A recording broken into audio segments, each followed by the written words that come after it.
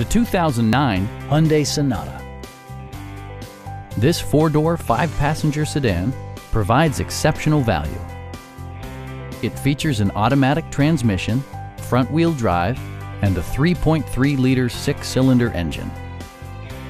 Top features include remote keyless entry, front fog lights, heated door mirrors, and a split folding rear seat.